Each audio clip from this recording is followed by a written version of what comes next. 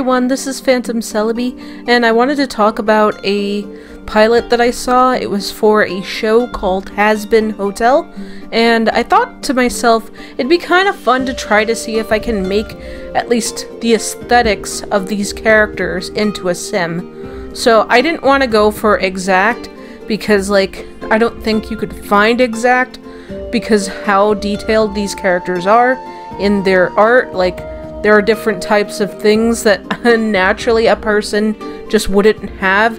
The cartoon style for this particular pilot is very cartoony to the point where some things just couldn't be recreated in a game like this, which is generally a life simulator, even with mods.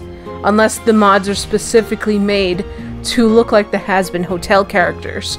But I'm looking at the characters and I think to myself, well, at least I can make somewhat of a depiction of their aesthetics. So I thought it would be kind of fun. And I think I did a pretty good job, despite the fact that some of the colors aren't perfect and some of the things just aren't exactly the same, but I felt like it would be kind of fun. So I picked four of the characters from the pilot, which were, because this, you know, this pilot had a lot of characters. I was originally gonna do um, a character called Katie Killjoy, and I thought she'd probably be a really fun character, but then I thought to myself, what are the more recognizable characters? And that would be Alistair, Angel, and um, I think her name is Vaggie. Vaggie and uh, Charlie. The, those are the four main characters from the pilot. And I mean, there was a a few other characters that were pretty cool, but they didn't really get fleshed out like these characters did. Like, with the Alistair, he, he had a full-on backstory.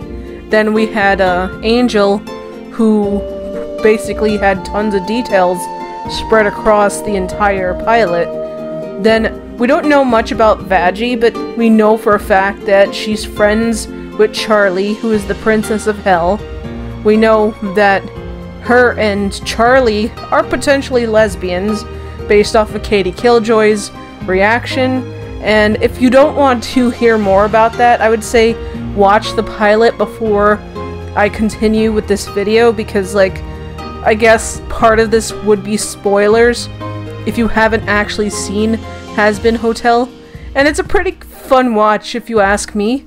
It does have a little bit of an issue when it comes to like sound effects. I would say there's a little too many. Certain things really didn't need a sound effect, and it was just kind of oddly placed. Like at one point, uh, Charlie, she drops a donut onto the floor, and it makes like the sound of a squeak toy. And I'm like, really? Why would the donut make a squeak toy sound? Whew wow. It's just like, it was pretty funny. So while I was making this, I thought to myself, the first character I would make is Angel, but Angel is kind of a difficult character to make. I'm not gonna lie because there was a lot of details put into Angel specifically.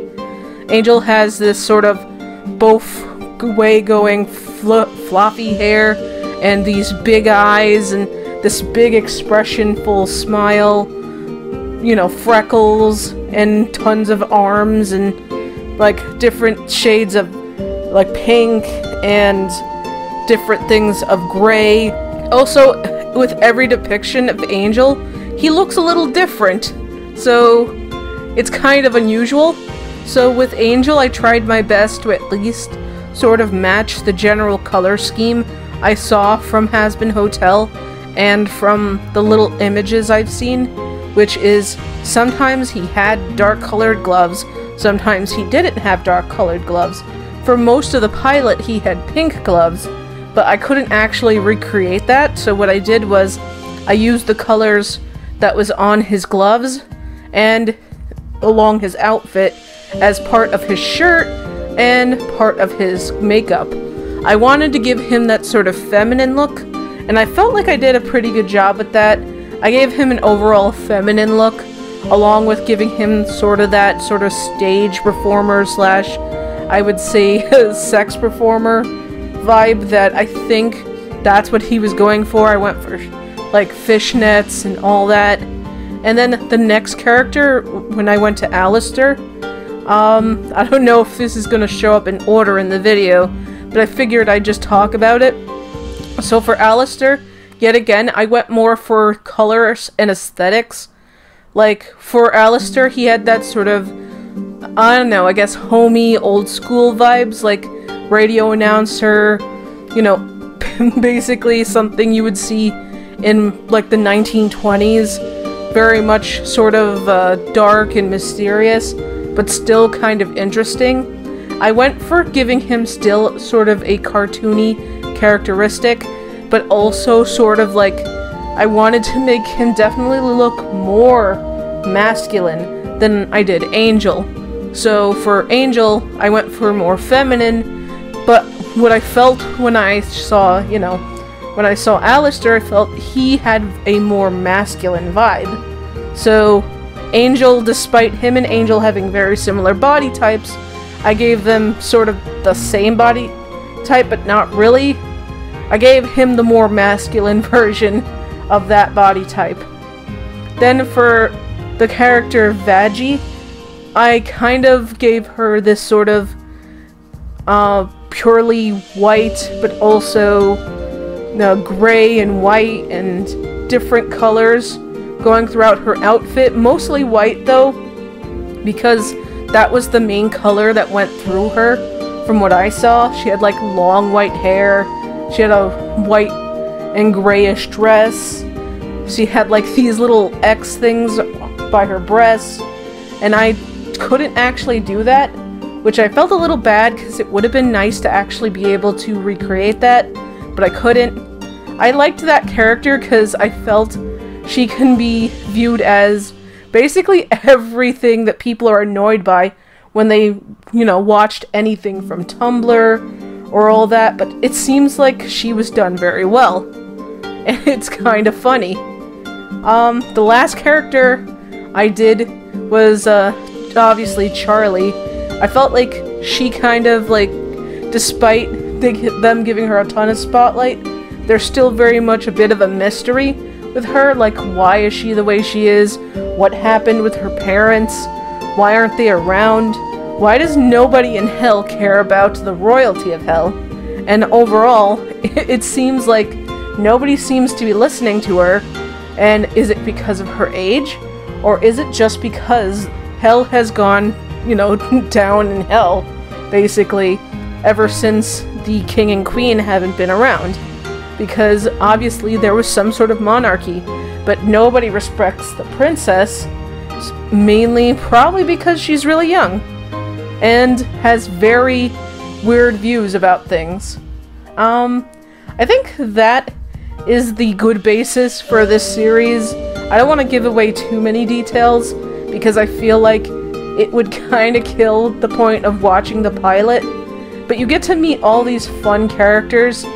Also, you get to meet Katie and Tom, and I think one of the characters I thought was kind of cute, but also a little insensitive, was a character named Niffty, and she was incredibly adorable.